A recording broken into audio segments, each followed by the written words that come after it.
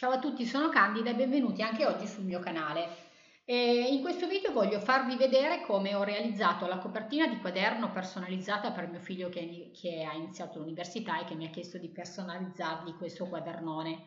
E così ne approfitto anche per farvi vedere un po' come muoversi all'interno del sito di Creative Fabrica per cercare le cose, perché essendoci milioni di risorse digitali a volte può sembrare difficile trovare, un po' complicato trovare quello che si cerca, quindi bisogna fare una, bisogna, bisogna mettere dei filtri in modo da arrivare più velocemente a quello che si vuole e oggi approfitto di questo progetto per farvi vedere come. Allora, eh, dunque intanto vi ricordo di attivare l'abbonamento di un mese a un dollaro dove che vi permetterà di scaricare tutte le risorse digitali del, eh, del sito, comprese di licenza. Non perdetevi questa occasione perché è veramente eh, una cosa che vi aprirà tantissime porte e vi farà conoscere bene questo sito. Vi consiglio vivamente di farlo. Nella descrizione del video trovate il link per entrare con il mio codice sconto che vi permetterà di, ehm, di avere questa offerta. Allora, torniamo a noi. Eh, mi ha chiesto di, di, mettere un leone in copertina, quindi io cosa faccio? Vado direttamente qui nella ricerca e scrivo lion come prima, diciamo, scelta, ok? In modo da iniziare a selezionare quello di cui ho bisogno. Dopodiché vedete che qui ha messo lion a fianco alla lentina e qua sotto ci sono tutta una serie di possibilità che vi permettono di filtrare ulteriormente quello che vi serve.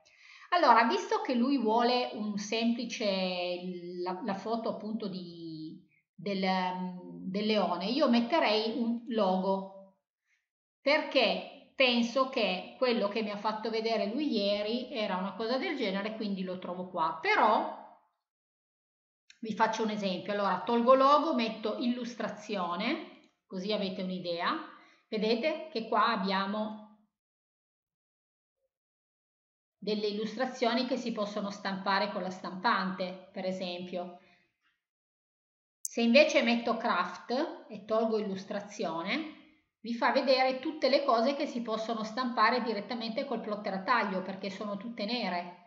Quindi questo vi permette nella, nella diciamo, eh, selezione che avete fatto di leone di fare un'ulteriore selezione tramite dei filtri. Allora io metto icona perché dovrebbe essere qui quella di cui ho bisogno e andiamo a vedere.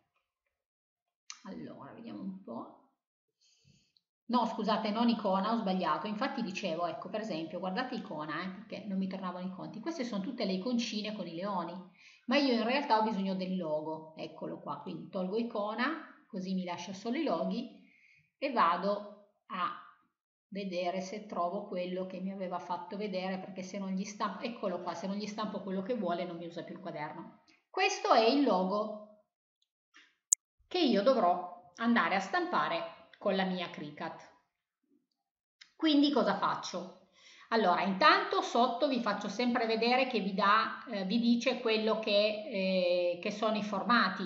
Quindi vi dice che questo è un formato vettoriale, quindi editabile al 100%, ve lo dà in EPS come formato, in AI come formato. A me l'EPS da aprire con eh, Cricut con Cricut Design Space va bene e quindi posso scaricarlo. Ora io qua vedo download perché eh, se lo fate anche voi ho tutto il sito scaricabile quindi non devo pagare nulla altrimenti qua ci sarebbe il prezzo del, del, dell'immagine da scaricare. Io non pago niente, cosa che non fate neanche voi se vi abbonate, do download e lui vedete che cosa fa? Mi va a mettere all'interno della mia cartella download la cartella Lion Logo. Quindi io abbasso il mio eh, Creative Fabrica, vado nella mia cartella, qui c'è sempre il mio desktop da mettere a posto perché è pieno di roba, ma vedrete che prima o poi lo troverete ordinato, vado sui miei download e trovo la cartella Lion Logo zippata. Cosa faccio? Clicco con il tasto destro del mouse, estrai tutto, la faccio salvare, me la salva nella stessa, eh, nello stesso posto, nel mio caso, voi se volete potete metterla da un'altra parte, a questo punto io in questo punto qua, vedete, all'interno mi trovo i file, che adesso volevo vedere come sono, ok? Ci sono questi file che sono AI, quindi per Adobe Illustrator, eh, il file EPS e, eh, e questo, no, allora, eh, file JPEG, file per Illustrator e il file eh, EPS ok? Io posso usare il file JPG, che posso, vedete, se clicco due volte lo apro direttamente questo, userò il file JPG per, ehm, per direttamente il mio design space. Quindi lascio il mio, il mio, disegno qui nella cartella, tanto lo andrò a prendere direttamente con, uh, con Design Space, apro Design Space. Ci mette un pochino perché il mio PC è un poco lento, ok?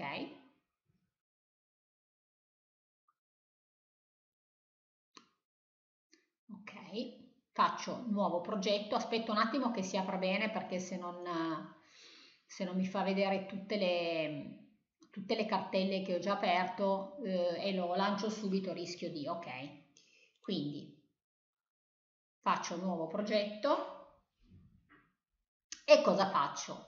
Allora vado a caricare il file che ho scaricato, quindi faccio, ingrandiamo così, faccio carica in questo modo, faccio carica immagine, sfoglia, potete trascinarlo direttamente ma io vi faccio vedere, vado in download, vado nella mia cartella Lion template, prendo il mio file JPEG e lo carico. Qui andiamo a cliccare su semplice in modo che, perché i colori sono a contrasto, ci sono solo due colori, quindi sarà semplicissimo eliminare il colore che mi serve. Faccio continua e vado a rimuovere sulle aree dell'immagine che voglio eliminare. Quindi elimino il nero in questo modo e in questo modo. A questo punto praticamente abbiamo eh, il leone che è pronto per essere aperto con ehm, Design Space. Facciamo l'opzione, clicchiamo sull'opzione taglia immagine perché dovrò tagliarlo direttamente e lo vado a caricare. A questo punto ho il mio leone nel, eh, nelle mie immagini, inserisci immagini e ho il leone da ritagliare con la mia Cricut. A questo punto cosa faccio? Vado a mettere nella dimensione giusta, che ho già visto essere un 16 in larghezza, ho lasciato il, um, il lucchetto chiuso così mi, me lo ingrandisce in maniera proporzionale. E adesso non devo fare nient'altro che aggiungere una scritta perché mi ha chiesto una scritta, quindi scriviamo memento, ok?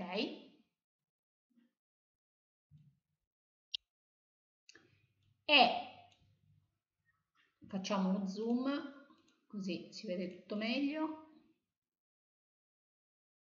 po' troppo, ok, così. E questo memento lo andiamo a centrare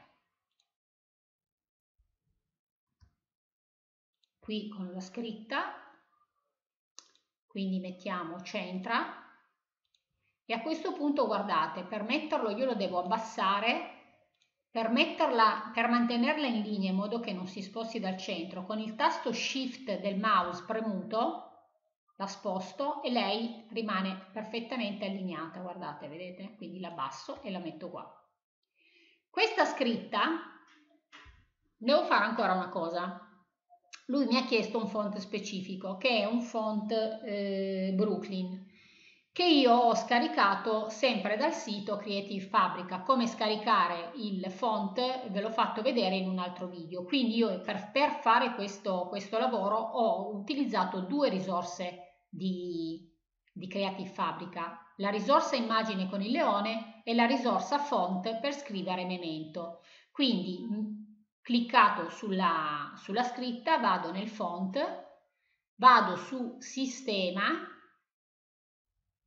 perché è un font del mio sistema e qui troverò il mio Brooklyn. Sono in ordine alfabetico, quindi...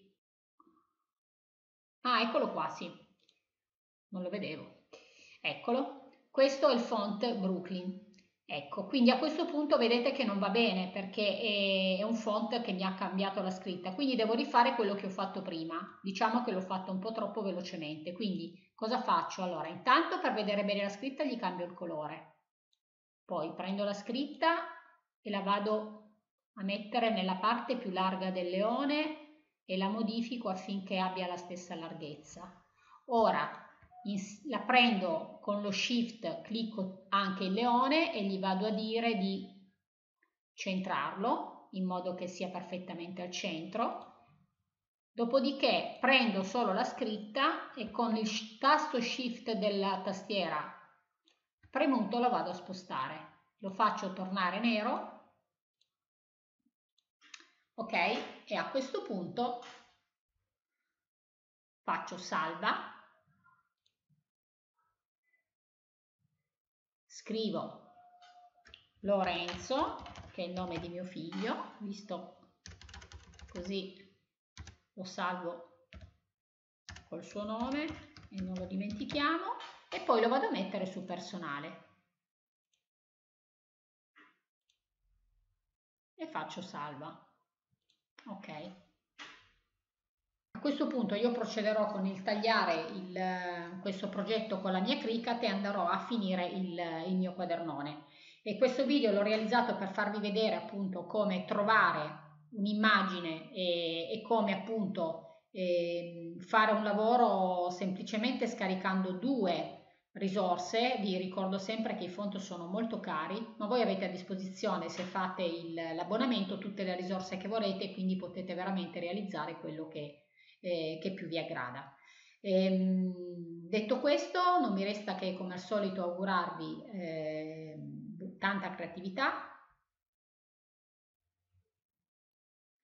A questo punto io procedo con il tagliare il mio, il mio lavoro con la Cricut e vado a completare il mio, il mio quaderno. Questo è un video per farvi vedere, iniziare a farvi vedere come trovare eh, le immagini che vi servono su Creative Fabrica e come appunto eh, vi può servire più di una risorsa per creare un lavoro anche solo semplice come questo, visto che ho utilizzato sia un'immagine che, eh, che, un font. E, ehm, quindi mh, vi consiglio di attivare l'abbonamento così potrete veramente realizzare tutto quello che vi passa per la testa. E detto questo, come al solito, non mi resta che augurare buona creatività a tutti e ci vediamo con il prossimo video. Un abbraccio e, e alla prossima settimana. Un bacione, ciao ciao!